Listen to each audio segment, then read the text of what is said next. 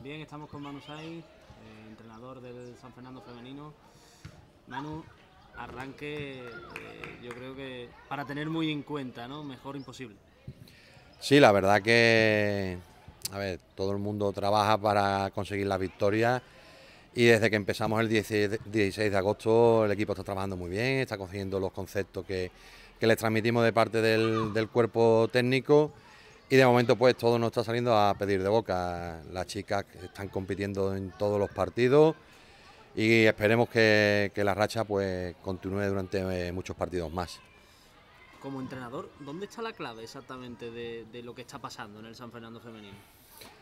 Pues la clave es simplemente en el, trabajo del equipo, eh, el compromiso que, les pedí a ellas cuando empezamos a confeccionar la, plantilla, la unión que hay en el, vestuario, todo eso lo une y después las ganas que tienen las crías por, disfrutar jugando al fútbol. Eh, todo eso hace posible de que ahora mismo pues, el equipo tenga una dinámica positiva y estén los resultados pues, saliendo a pedir de boca.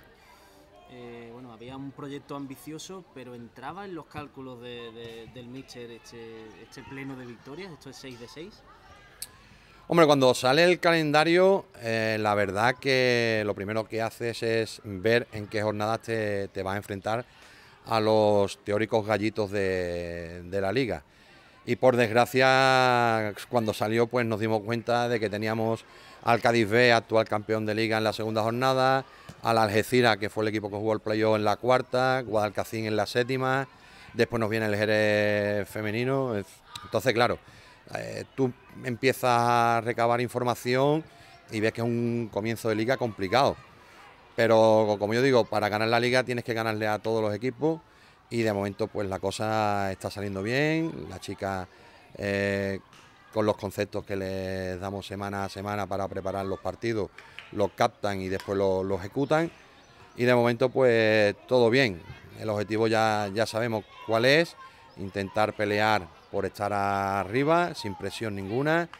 Es nuestro primer año y si al final de temporada podemos cantar el alirón y jugar el playoff, perfecto. Que no, no pasa nada. Seguimos sentando unas bases de cara al futuro, que, es lo que nos pidió el presidente y la, directiva. Hablas precisamente de cuando tocaban los teóricos gallitos. Eh, ya se puede decir que bueno, se han superado varios, se han superado al Cádiz, se han superado las Algeciras. Ahora toca la primera prueba eh, lejos de Bazán y creo que también hay ese especial gusanillo porque tenéis ganas, ¿verdad?, de, probaros fuera y en este caso probaros contra el Club Deportivo Guadalcacín, que ahora mismo eh, colidera el campeonato con vosotros. Sí, la verdad que, es verdad que de, tanto Cádiz B como Algeciras han sido partidos como local y ahora nos viene la primera prueba de fuego fuera de casa, que es contra el Club Deportivo Guadalcacín, un equipo con, solera en, en esta categoría, que llevan muchos años trabajando en pro del, fútbol femenino que lo están haciendo muy bien. Nosotros vamos con toda la ilusión del mundo al, partido del domingo, con las cosas bien trabajadas, bien habladas y con ganas de, competirles. Después, como yo digo, una vez que empiece la pelotita a rodar, te pueden salir muchos condicionantes al partido, pero tenemos las ideas claras, sabemos cómo tenemos que desarrollar nuestro fútbol y estoy convencido que si jugamos como, si juegan como saben las chicas, eh, podremos sacar un resultado positivo de allí de, Fernández Marchán.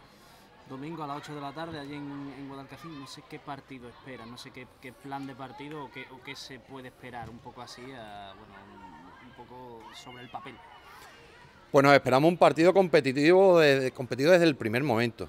Ellas juegan en casa, eh, tiene un, estilo de juego muy definido desde hace muchos muchos años y nosotros pues vamos a intentar combatirle con nuestras armas, eh, haciendo el fútbol vistoso que, llevamos haciendo, mm, queriendo la pelota, que es como más a gusto nos encontramos, e intentando pues aprovechar las ocasiones de gol que, tengamos. Seguir siendo serios en la parte defensiva y a partir de ahí, ya te lo he dicho, un partido competitivo desde el minuto 1 hasta el minuto 90 por dos muy buenos equipos de la categoría. Se está notando también muchísimo el apoyo, tú como isleño, el apoyo que está recibiendo la, sección femenina por parte de la afición azulina, ¿verdad? Sí, la verdad que nos ha sorprendido la presencia de seguidores en los partidos de casa. Nosotros sabíamos que, sí, que en redes sociales estábamos teniendo apoyo, que la gente eh, nos estaba siguiendo, pero teníamos ese miedo de cuando jugáramos en casa eh, la afición nos respondiera y, todo lo contrario. En los tres partidos que llevamos en casa, en el campo de Bazán, hay más de un centenar de aficionados viendo al equipo. Mira que el otro día el partido tampoco es que fuera una hora muy buena para ver fútbol, fue a las 10 de la mañana y aún así había un, buen número de seguidores en la grada. Para sobre todo las la jugadoras es un aliciente verse respaldada por la afición y así esperemos que continúe toda la temporada y al final de la misma pues poderle dar una alegría por parte de la sección femenina.